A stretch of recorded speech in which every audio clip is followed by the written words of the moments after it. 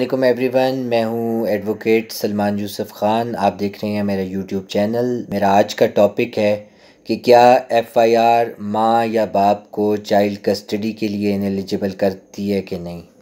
तो इसका short answer है कि ज़रूरी नहीं है कि एक एफआईआर कटने से बाप या माँ को उसके बच्चे की चाइल्ड कस्टडी से डिसएंटाइटल कर दिया जाए।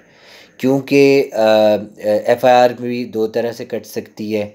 या तो स्पाउसेस के आपस के झगड़े में कोई ऐसा ऑफेंस हो जाए, जिसमें बाप माँ पे या माँ बाप पे एफआईआर करा दे तो एक तो ये सिचुएशन है। दूसरी सिचुएशन हमारे सामने ये भी होती है कि कभी कभी कोई बंदा उस पर इल्ज़ाम होता है, बंदा या बंदी पे इल्ज़ाम होता है कि उसने सर्टन ऑफेंस किया है तो वो नॉमिनेट हो जाए या नॉमिनेट ना हो, लेकिन एफआईआर कट जाए तो उसको कोर्ट से बेल करवानी पड़ती है।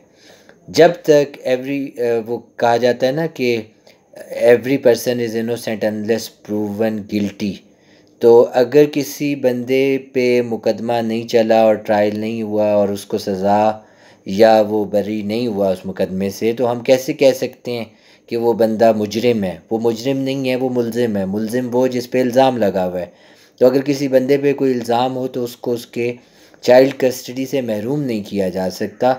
हाँ अलबत् अगर उस पर कोई इल्ज़ाम ऐसा है जो ग्रीवियस नेचर का है और कोई प्रामा फेशाए समझ आती है कि ये बंदा चाइल्ड को कोई नुकसान पहुँचा सकता है तो उस सूरत हाल में जज उसकी कस्टडी की पिटीशन खारिज कर सकता है।